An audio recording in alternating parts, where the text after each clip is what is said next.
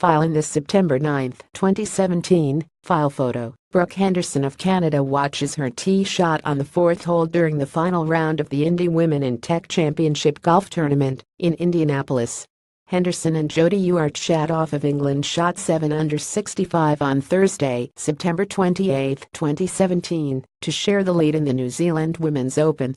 AP photo Erin Cummings, file Auckland, New Zealand, Spain's Belén Mozo shot an 8 under 64, including a hole-in-one on the PAR 313, to take a fifth stroke lead after two rounds of the New Zealand Women's Open on Friday. Mozo finished strongly with a birdie on the 18th after a double bogey on the 17th, after hitting her tee shot into the water. She had a 14 under total of 130 on the newly established Windross Farm course. Three golfers shared second place, Emily Tubert of the United States, who shot 65 Friday, Madelene Sagström of Sweden 67 and Brooke Henderson of Smiths Falls, Ontario. The colliator after the first round who had a 70 Friday. Local favorite Lydia Ko shot 68 and was 8 strokes behind Mozo. The four other Canadians in the tournament include Alena Sharp of Hamilton, who fired a 73 to sit tied for 69th to just make the cut but Maude-Aimee Leblanc of Sherbrooke, K.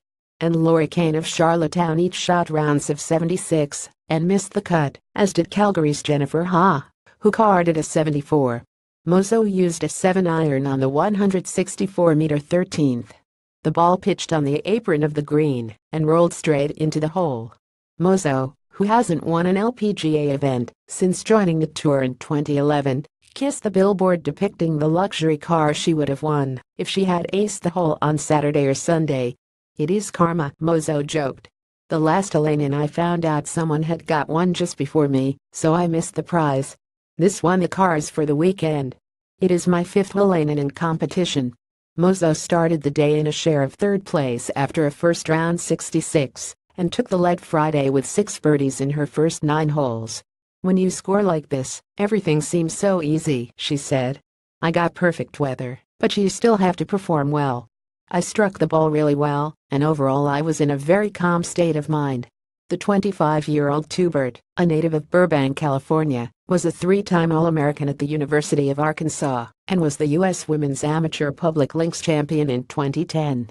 She considered quitting top-level golf while still at college before joining the LPGA Tour this year.